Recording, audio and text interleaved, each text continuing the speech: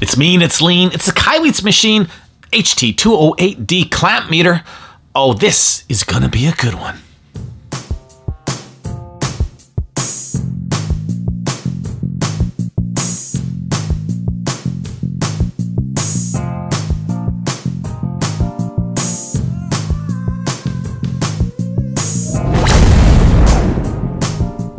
Hey, welcome back, everybody. Final edition of the Kaiweets Extravaganza. Yes, what a week this has been.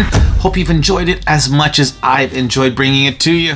Last but not least, the pièce de résistance and the Kaiweets clamp department, the 208D. This is one sweet looking clamp meter. And once again, check out the case that this Kaiweets ships in. As I mentioned before, the cases are phenomenal. These things are built to last, and I mean, they are built so well, it just boggles my mind. I mean, wow, how often do you get a clamp with a case like this?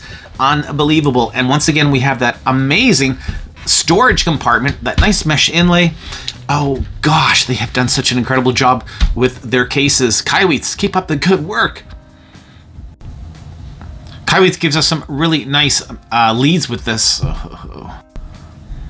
The 208 ships with some really nice leads as well. 10 amp, uh, Cat 2 1000 volts, silicon, silicon, yes, and they are long, gorgeous, gorgeous. So uh, already off to a really nice start. Also get that nice thermocouple because of course, of course, Kaiweets does temperature. Man, amazing. And of and a really nice little manual here, the 208D user manual, TrueRMS clamp meter. Lots of interesting information. Talks about the high impedance, the low impedance, uh, advanced functions, AC current measurement, inrush function. Yeah, they have not missed a thing. And look at that. Check it out. Three year warranty. So Kaiweets is putting their money where their mouth is. Good job. I said it once, I said it again. You want a chance to win this gorgeous clamp meter? Well, of course you do. It's really, really easy. Simply like, subscribe, and leave a comment. That's it, that's all. And you can win this beautiful 208D. And don't forget, even if you don't win a beautiful one like this, hey, no worries. Use this coupon code below and you will save some money on the Kaiweets website. They have a ton of stuff, lots of electronic components, instruments, what have you. Um, some really nice deals going on right now as well. So check it out, kaiweets.com. Use the coupon code below and have fun. You can see that this Kaiweets clamp is quite a bit bigger than the 260, so the 208 has definitely got some robustness to it, very oomphy in size, and you know what? It's a heavy meter, and heaviness usually is a good indication of quality as well, so that's probably a good thing. Now, it's not too heavy to carry around, don't worry about that. It doesn't weigh like 30 pounds or anything, but it's definitely a solid feeling meter, and man, what a nice meter to hold in the hand. Uh, that rubberized, texturized uh, outer shell is amazing. Um, you can pretty well, I swear, this is almost like getting a hand massage. It just feels so nice.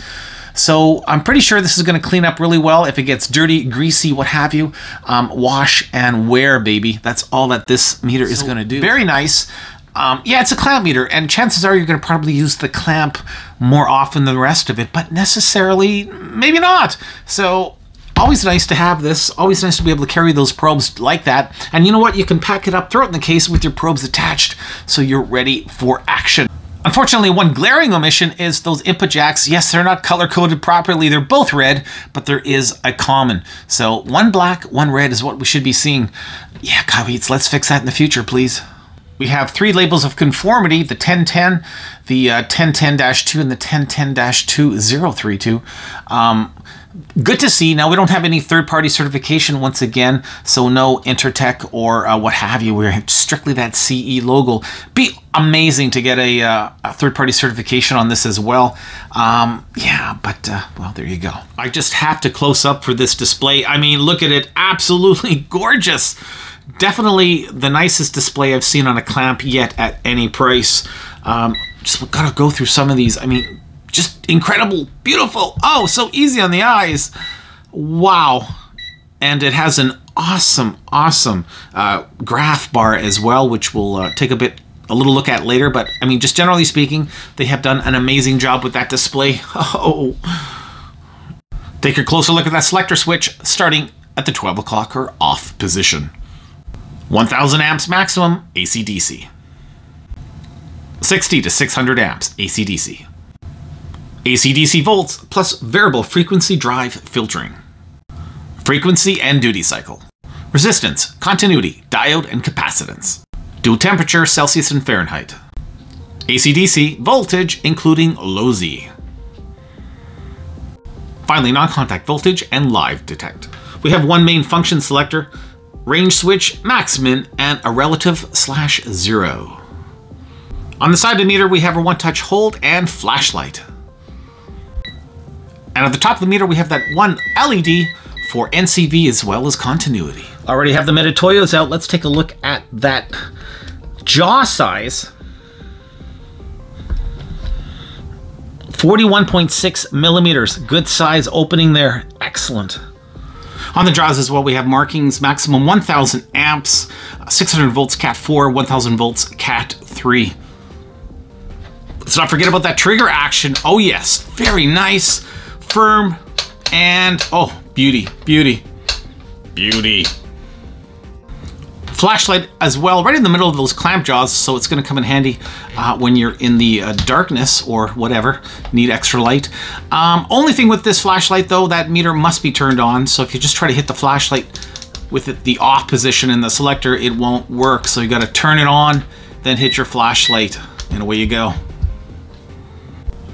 So an interesting caveat with this multimeter, you're actually getting two voltage uh, ranges. You're getting the VFD here at the top, AC-DC, and at the bottom you're getting your low Z AC-DC voltage. So in this case, it doesn't matter because we're just looking at DC volts, VFD or the low Z setting, they both will give you the same result. And that result is 5.004 volts on the 5.000 precision, precision voltage standard. Now let's put it up to the 10 volt and see how close we are. Moving over to Mr. 10, and we've got 10.01 volts. Oh, 10.0, oh, beauty. That's what I like to see. Have the temperature mode right is an ambient sensor, and uh, we have that nice big dual display. 74 degrees Fahrenheit, 23 degrees Celsius. And I've got that little 902C temperature meter out coming up as 18.5. I'll try the same thing with the Fluke, and we're coming up as 19.2. So, yeah, honestly, looks like the 902C is a little bit closer and even with that thermocouple attachment, it's still close to 23, 22.6. So it seems to be a little bit high in the uh, temperature reading arena. And if I bring in another opinion, yeah, once again, it still is uh, closer for the 902C. So temperature definitely a little on the high side on the 208. I just couldn't resist. So I've taken out the Sanwa clamp and I'm going to put it up against a three-way here between the two Kaiweets and the Sanwa for a DC voltage showdown. Should be fun. Oh, by the way, look at that display. What a difference. Oh, oh my god. Yeah, night and day. Okay, sitting at 1 volts right now with the Kaiweets' power supply. 1.00 for the 206D, 1.00 again for the 208, and 1.00 for the Sanwa. So they're all pretty well neck and neck. Okay, here we are sitting now at 11.76 volts, 11.76 for both of the Kaiweets, 11.74 for Mr. Sanwa. Up, up, and away. 15.24 volts, 15.23 for the. Oh, look at that, boy, neck and neck for those Kaiweets and 15.21 for Mr. Sanwa. Okay, let's max it out. 30.82 volts for the Kaiweets' power supply, showing up as 30.79 and 30.79 again for the Kaiweets. Wow, I'm telling you, birds of a feather. And 30.75, pretty well uh, the same reading for the Sanwa. Oh man, that was good. But I will definitely give this to both of the Kaiweets because you guys were like brothers, man. Good job. Okay, we're looking at milliamps right now, DC milliamps, And uh, 18 milliamps is where we're at, and we're around 16, 15 to 16. All right, so let's take it down. Let's go down to 14.2 milliamps. Coming up as, oh, 14, 14, 15-ish. Take it down a little bit further. 12.2 milliamps.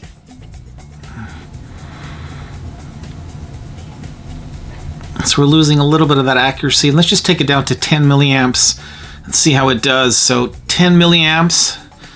Gonna take a little minute here to settle.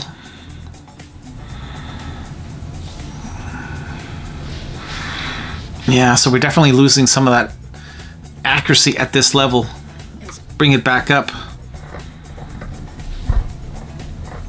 Let's go back to 13 milliamps. So yeah, 13. So below 13 milliamps seems to be a little bit flaky. Um, hey, 13 milliamps with a clamp DC. I'm not complaining. Okay, looking at low volts right now, sitting at 5 volts, coming up as 5.049 on the 208D. Let's bring it down. 4 volts, looking good. And 3 volts, beauty. Let's go all the way down to 1 volt 1 volt, and coming up as 1.022 volts. Nice. Let's try 600 millivolts. Oh, no worries. 500? Oh, yeah, we're there. We're in millivolt range.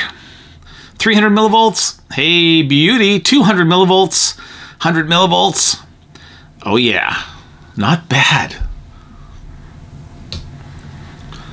All right, quick look at resistance. Let's see how fast or not so fast the Kaiweets clamp is. Right now we're at 1 mega ohm. Let's take it up to 3 mega ohm. 3.1 mega ohm. Oh, definitely not fast. It is on the slow side. 3.3 mega ohm. Hmm. 3.6 mega ohm. Yeah, so boy, that ranging speed is a little bit slow. Uh, let's try 2.2 megaohm, 2.22 mega ohm. 2.222. Okay, so definitely not the fastest in resistance. Hmm. In the accuracy department, not so shabby. 99.9 ohm. Yeah. Next up, we're going to be taking a look at AC current measurement with the inrush function, another nifty feature with the 208D. Basically, the inrush is the instantaneous high input current draw by any sort of power supply uh, when the uh, system is initially initialized or booted up. So let's take a look. I'm going to take this out to the garage, stick it into the charger, and uh, see how much my uh, EV current draw is. Should be interesting. Here we go. By the way, to get into this function, super simple. You just hit that function switch, get you into AC, and hit it again and again, and bada boom, bada bing. There we are. Auto inrush. Alrighty, here we go. Okay, late night in the garage with me and my Mach E. Um, yeah, so I'm about to plug it in to charge it. We're going to take a look at that uh, inrush current, basically startup current. Uh, see how much juice this uh, Mustang pulls uh, when it initializes. Here we go. So we have it hooked up to that Ford charger right now. This is just your standard uh, charging module, not a fast charger, nothing like that. Okay, we are going to engage the Mustang.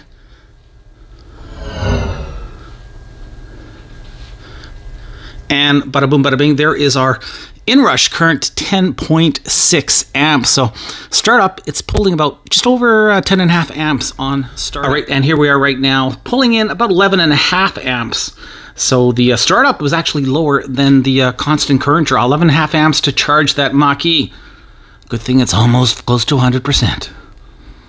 Right now we are in AC volts mode. Actually, we're not just in AC volts, but we're also in AC low Z mode, uh, low impedance mode. It's uh, a way to get rid of those phantom voltage readings or, or ghost voltage it's sometimes referred and to. of course, we have that frequency readout as well. Unlike the uh, 206D, you have to go to a separate uh, selector. But here on the 208, it is right there on that nice dual display. Beauty. And good God, look at this. Yes, even my my a touch from my body, the electricity running through me activates that NCV mode. Wow, this thing is going to be sensitive. Wow. I'm not even on the wall. this is one sensitive meter. Oh my god. All right, mains panel, here we go. So really, it is detecting every single wire.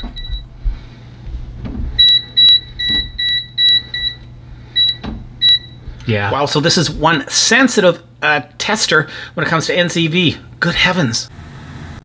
Alrighty, it's continuity time. You know I love this time. Here we are, stock default test leads, three, two, one.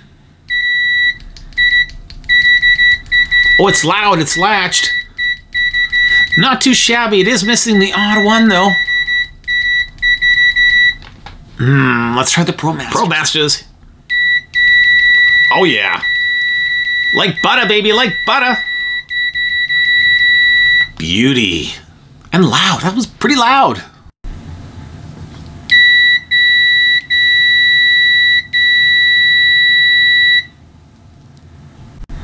76 decibels, maximum output volume in continuity. Told you it was loud. I told you. Diode mode is next. Here we go. Let's start off with the standard diode. Do we have that nice audible beep? Oh, we do. We do. Now let me short the leads. Oh, okay. We don't have that nice continuous beep when they're shorted. That's too bad. But nonetheless, we have an audible beep. Okay, here we go. Off to the red LED. Yes, it is lit with a forward voltage drop. Over the yellow. Yes. Over to the green, beauty. The blue and the white, oh, beautiful. So there we go, five for five. Illumination and forward voltage drop, excellent. 3.2 volts, maximum output voltage in diode mode. Wow, I gotta say, thus far, I am really impressed with this clamp. Oh man, it does it all and it does it really well. Okay, let's take it apart and see what's on the inside. No shielding. Oh well, kind of knew that was coming. Um, I gotta say though, nice quality plastics. All in all, really good uh, quality here. Look at that, very nice Let's molding. Start off with those input jacks. They are soldered in there. They are of the split type, and you know the soldering job is actually okay but uh, you know, not the greatest. So I would have liked to have seen bigger blobs going on. I mean, yeah, I know it's a clamp and it's not going to get as much use as a standard multimeter, but still I'd like to see those inputs um, soldered on really, really well. But I mean, all things considered, it's, it's, it's a high powered resistor and two PTCs. No MOVs though, no MOVs. Oh goodness gracious. Well, hopefully we're not going to get any major transients happening on. But uh, yeah, MOV would have been uh, another bonus. Um, we have a transistor clamp over there, and over here is the main IC, which is COB. Now, beside that, we do have our EEPROM, the T24C08A, which leads me to believe it might be uh, DreamTech DTM0660 hiding underneath all that resin. Moving further down the line, here is our main LCD display driver, the TM1622 from Shenzhen Titan Micro. That, my friends, is an op amp. It's the GS855 um, it's amp with an RF filter. So that is what is magnifying or amplifying the signals from the current jaw. Also, I don't know if you can see, they're sort of hidden in there, but we have two trim pots, a VR1, VR2. So apparently you can adjust your voltage. Interesting. Over at the top here, we have a linear voltage regulator, and hidden beside that is the well for that trigger. Uh, it has a steel sort of spring, um, but also a little plastic mechanism. Now, I don't think there's actually any force being pushed on that plastic retainer. Um, it's more of a holding, so I think that should be okay in the long run. No complaints here, super clean board, everything looks really good. Probably would have liked to have seen a little more solder on those input jacks, a little bit better retaining, but hey, that's pretty well it.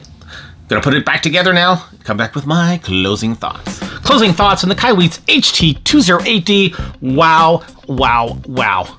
I'm almost speechless, if you can believe that. This meter definitely impressed. You know, I think it compares well to a Fluke for a fraction of the price.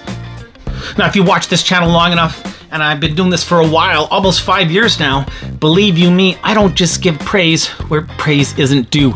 And in this case, 100% Kaiweets, you did an amazing job on this clamp. It has that beautiful LCD EBTN display with color. And I'm telling you, this thing's absolutely gorgeous. Man, oh man, even outside, contrast was still excellent and all around great performer indoors or out. The selector switch, it's big, it's bold, and man, it's beautiful. Easy to move, has that really good, solid, tactile feel about it, and this it just makes the meter itself work that much better. Bang for buck, this thing is really hard to beat. Inrush current, low Z, VFD, the list goes on, up to 1000 amps. Holy moly cannoli. I really wish those inputs were color coded though, and man, that input protection should just be a little bit better. But at the end of the day, all things considered, this is an incredible value. And I think it's probably one of the best clamps on the market at any price range today. The Kaiweets HT208D gets a solid 4.5 out of 5 stars.